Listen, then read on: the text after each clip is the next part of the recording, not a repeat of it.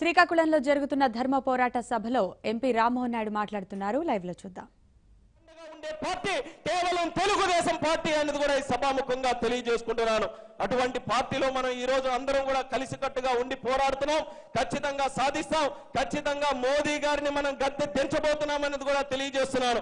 మోదీ సేనలో ఎంతమంది చేరినా జగన్మోహన్ రెడ్డి గారు గాని పవన్ కళ్యాణ్ గారు గాని కేసీఆర్ గారు గాని ఓవైసీ గారు గాని వీళ్ళందరూ కూడా ఎంతమంది మోదీ సేనలో చేరినా సరే చంద్రన్న సేన ఎంత బలంగా ఉందో మీరందరూ కూడా ఒక్కసారి చెప్పండి.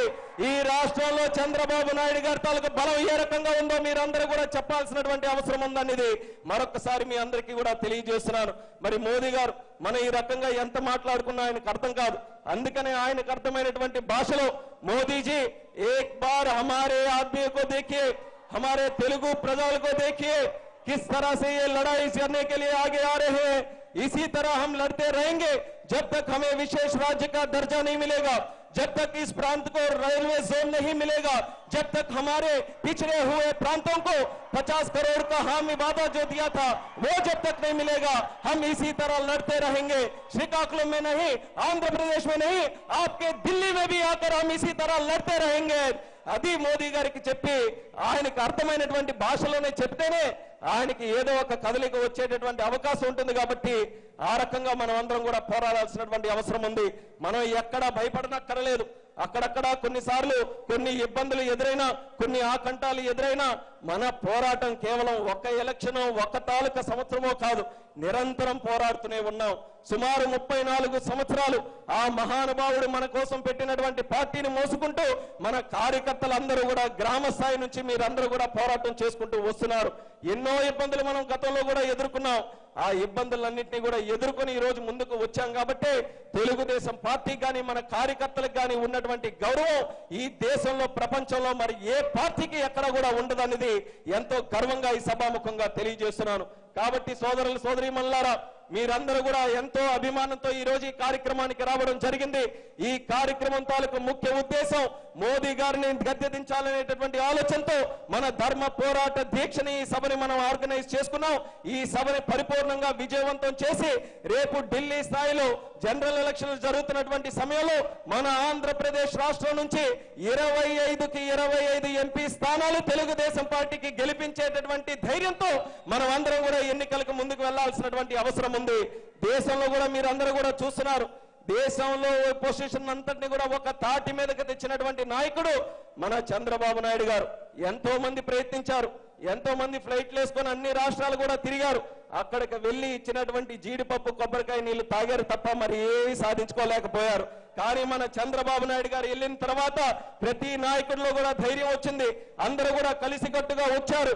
ఈ రోజు మనం చూస్తున్నాం హిందీ హార్ట్ ల్యాండ్ అని ఏవైతే మూడు రాష్ట్రాలు మనం పేర్కొన్నాయో రాజస్థాన్ గాని మధ్యప్రదేశ్ గాని అదే రకంగా ఛత్తీస్గఢ్ గాని అక్కడ కూడా బీజేపీకి ఓటమి పాలు చూసిందనంటే అందులో మనం సంవత్సరం పాటు పార్లమెంట్లో చేసినటువంటి పోరాటాల వల్ల ప్రజల్లో కూడా ఒక సరికొత్త ధైర్యం ఇచ్చినటువంటి వాళ్ళం అయ్యామనేది కూడా తెలుసుకోవాల్సినటువంటి అవసరం ఉంది.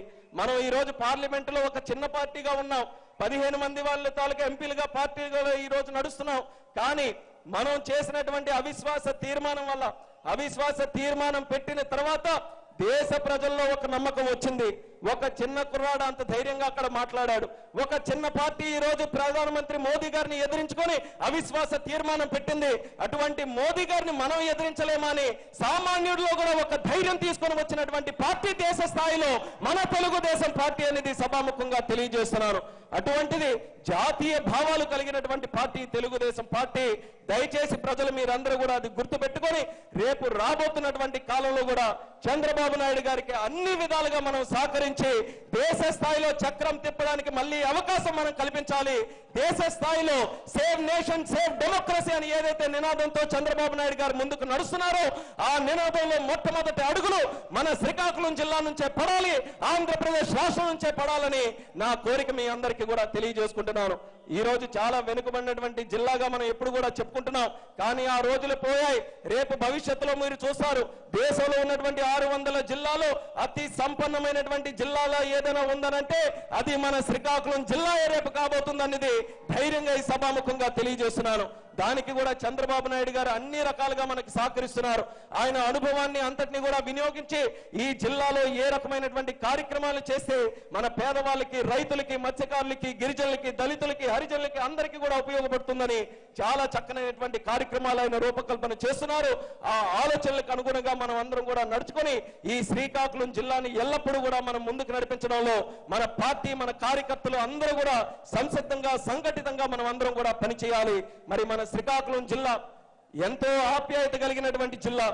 ఎన్ని రకాలైనటువంటి ఇబ్బందులు వచ్చినా సరే చిరునవ్వుతో ఎదుర్కొంటాం తప్ప ఏ ఒక్కరికి అన్యాయం చేసేటటువంటి మాట మన శ్రీకాకుళం జిల్లా ప్రజల్లో ఎప్పుడు కూడా ఉండదని తెలియజేస్తున్నాం.